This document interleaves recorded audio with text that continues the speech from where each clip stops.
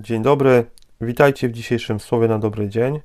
Chciałbym dzisiaj rozpocząć od tego, żeby podzielić się z Wami smutkiem mojego serca.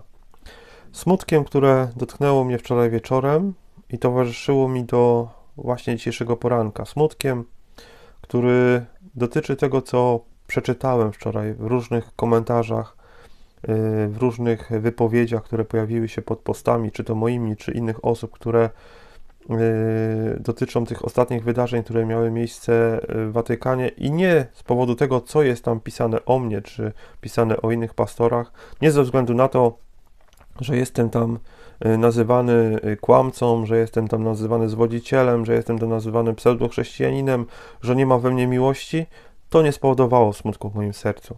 Dlatego, że przyzwyczaiłem się do tego, że tak jestem postrzegany, kiedy, kiedy mówię prawdę, kiedy mówię prawdę e, prosto w oczy, ale smutek ten spowodowany jest moją bezradnością, naszą bezradnością. Bo zobaczcie, cokolwiek byśmy napi nie napisali, to zawsze będziemy postrzegani jako, jako ci źli. Zawsze będziemy postrzegani jako krytykanci, zawsze będziemy postrzegani jako zwodziciele. Dlatego, że prawda w oczy kole. Dlatego, że prawda dzisiaj nie jest popularna. Dlatego, że dzisiaj w tym świecie, w którym żyjemy, łatwiej jest przyjąć to, co nie jest prawdziwe, niż to, co jest prawdą.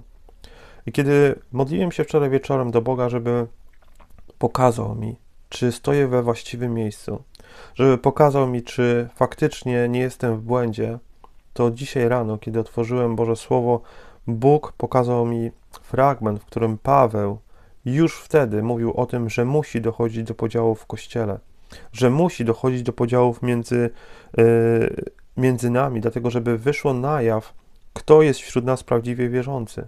I nie chcę tutaj yy, polemizować z tym i, i mówić o tym, kto jest prawdziwie wierzący, a kto nie. Nie chcę nikogo tutaj oceniać, dlatego że to nie jest moja rola, żeby oceniać, kto jest wierzący, a kto nie. Ale chcę zwrócić uwagę na to, że Paweł mówi już wtedy mówił i wtedy już dochodziło do podziałów w kościele, że Paweł mówi, prawdę mówiąc, musi dojść do podziałów między wami, aby wyszło na jaw, kto jest wśród was prawdziwie wierzący. Bóg dzisiaj dokonuje podziałów, dopuszcza do tych podziałów po to, aby oddzielić ziarno od plewy, żeby oddzielić kłamstwo od prawdy, żeby oddzielić fałszywą Ewangelię od prawdziwej Ewangelii. Bóg dopuszcza do podziałów w Kościele, żebyśmy mogli zobaczyć i zweryfikować swoją postawę i, i miejsce, w którym jesteśmy. Paweł wtedy już wiedział, że największym problemem wśród chrześcijan jest, są podziały, ale mówi o tym, że muszą, muszą, musi dochodzić do tych podziałów, aby wyszło na jaw, kto jest prawdziwie wierzący. Dlatego, kochani, nie dziwmy się, że dzisiaj w czasach końca dochodzi do podziału. Boże Słowo mówi o tym, że będą się działy takie rzeczy, że będą podziały, ale te podziały służą temu, żeby zweryfikować, żeby pokazać, żebyśmy zobaczyli i otworzyli oczy.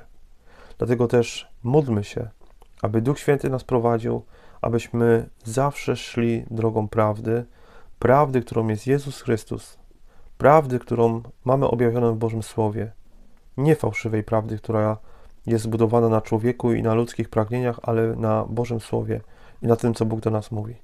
Radości w Panu pozdrawiam. Do zobaczenia jutro, jeżeli Pan Bóg pozwoli.